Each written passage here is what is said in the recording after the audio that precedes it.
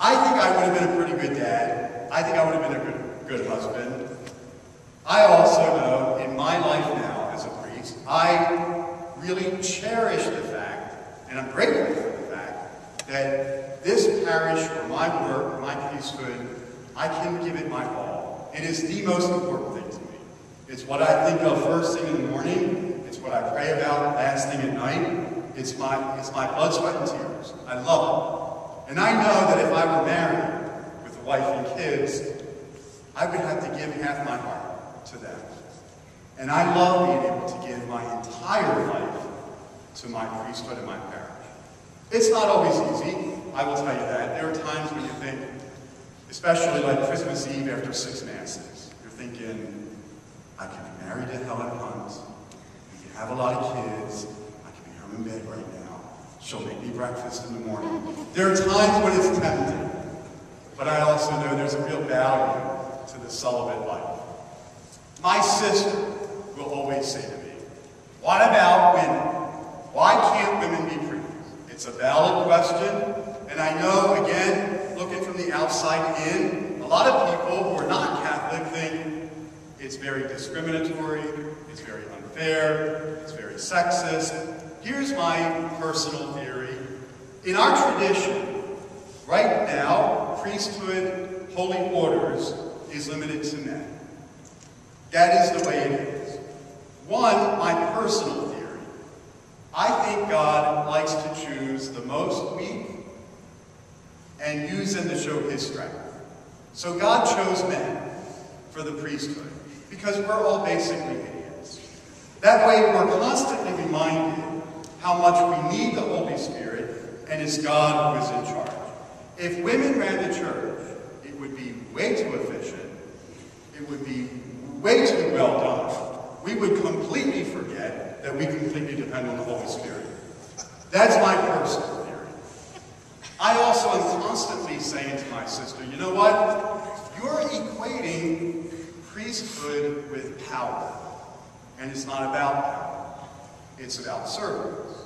And if you want to talk about service, women serve the church, not only in many ways, but I often find women serve the church much better than men. Women in their roles as wives, as mothers, as teachers, as nurturers, women do much, much better service to the glory of God than priests do, I can tell you that. Don't equate priesthood with power. It's about service. And really, in whatever vocation you're called to, it's ultimately a vocation of service. If you're called to marriage, you're serving your spouse. You're serving Christ in your spouse. You're serving Christ in your children. If you're called to the single life, you're serving Christ by your consecration to the single life and your service in the gospel. Whatever we do, it is about service. I wanted to pause just for a moment and ask you if you had any particular questions. This is my 20th year in the priesthood, and I got to tell you, every year gets a little bit better. It's a great life. I love it. My best friend, Dave, he and I were in high school seminary together. After high school, he decided that the Lord was calling him to married life. He married a wonderful woman named Sue, and they have three great kids. He has his own business, and we talk almost at least every other day, either by phone or on Skype. And Dave, the day I was ordained, Dave Dave had just gotten married. He and his wife came from Pittsburgh to Baltimore for my ordination, and the next day for my first Mass.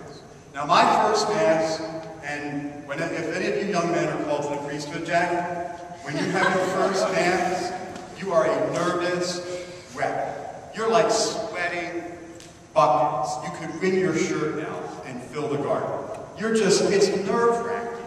You're up there and you're really self-conscious and it's all, and at the end of my first Mass, I got through it. I was like, Phew. and I'm walking down the aisle and I see Dave and Sue. They hadn't yet had any children. It was just Dave and Sue. And I look over, and Dave has tears running down his face. I'm like, the hell are you crying? I now have a life. What are you crying about? So I walked over to him and said, why are you crying? He said, do you know, I would give my right arm just one time to be able to do got to do. It's like, I said, Dave, if it's any consolation, I would give my bride arm to be married this soon. But we all make choices. But every day when he and I talk, you know, he has struggles in his marriage, and I say to him, Dave, you have a great marriage. You have a great wife, you have great kids, at least two of them are good. The boy's a real pain, but he'll grow out of it. Two out of three, that ain't bad. You've got a wonderful life. And he in his struggles will say to me, Gosh, I so envy you in the priesthood. You have such a great life. And there are times when I say to him, I envy you in your married life. You have such a wonderful life. Whatever we're called to, there will be struggles. It will not be perfect. It will not be easy. But God's grace does incredible things. If you're called to the priesthood, it's an incredibly gifted life. Get to see phenomenal things. Things that I've seen are just so